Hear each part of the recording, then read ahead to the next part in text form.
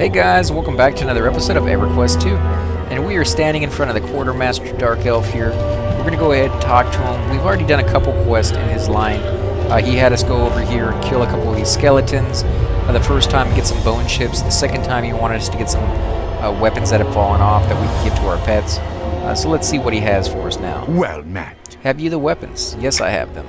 Again, I am impressed. You may be surprised to know how hard it is to find good workers around here. Let's see here. Bone fragments, weapons, ah, wood. Care for another job? Certainly. North of here are the remnants of recent attempts to construct upon the field of ruins. Never mind the fools who thought it was a good idea. Their building materials can be used to construct barricades and strengthen our pre-existing dwellings. Specifically, I speak of the wood they're left behind laying around. I'd like you to retrieve it. I can do that. Useful materials, level 8. You get at least 2 silver, 17 copper, plus a new pair of pants, which is a dark Pathfinder leggings, treasured no trade, 6 agility, chain armor legs, mitigation 45, level 8, and for all scouts. Again, depending on the class you're playing, you'll get a different reward. In the old days, they used to show you all the rewards this quest would give you in this little bar down here, and you'd have to pick out the one you wanted, which meant that people could pick out ones that they not necessarily could use on that character, but maybe on a different alt they could pick out, and they kind of did away with that. So now you only get the quest reward for the the, the, the character you're playing, which is, I guess, a little bit better, but kind of unfortunate for those who wanted to tweak out uh, a pre-existing character. Good. Collect pieces of wood, and we're going to go ahead and see where that is. I don't know what that noise is. So right over here is where I need to collect the wood. So let's head off in this direction. We'll have to go around the fence, obviously. Make sure our uh, our partner is ready. I think he might still be getting one.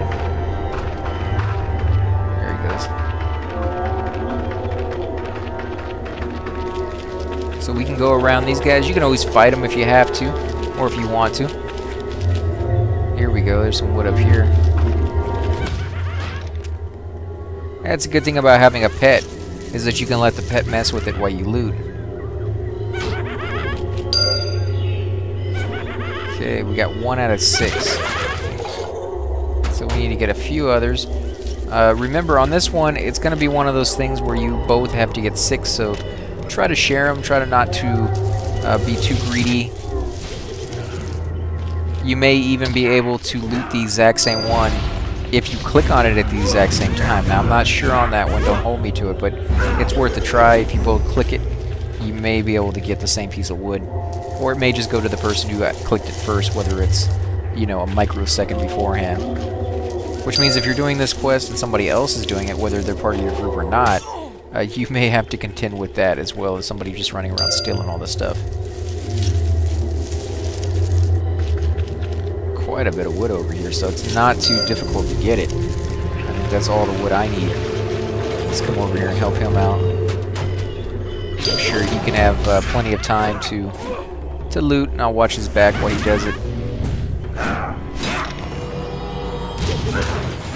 Boom.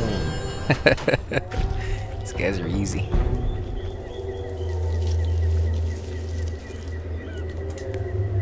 Just letting him know I got my six, so they're all his. Looks like there's a book here. I bet that's for another quest down the road. Two more. So there's some over here. At least one.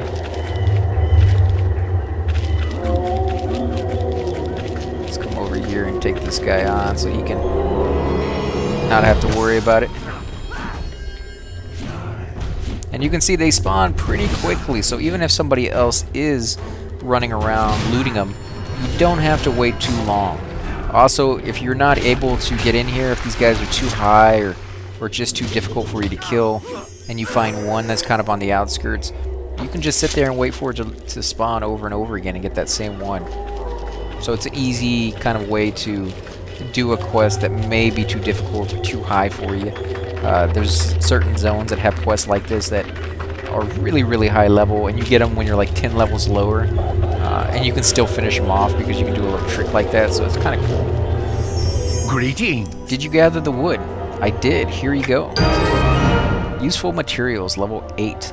So it's 2 silver, 48 copper, plus a new pair of pants, which I can actually wear. So it's pretty nice. We're going to go ahead and put those on as well. Go ahead and check that out. Where are the pants? There we go.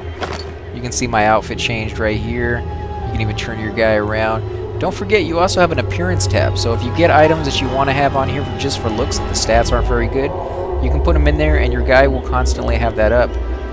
Uh, let's see, did I get anything else? I don't so. Still can't wear any of this. Okay, so we'll close that down. We're going to go ahead and end the episode here, guys. If you like these episodes, please hit the like button, subscribe. Definitely leave comments down below. I always love to hear back from you guys on what you like, what you don't like, what you want to see in the future, and things of that sort. Again, I want to thank you guys for watching, and I'll catch you guys on the next episode.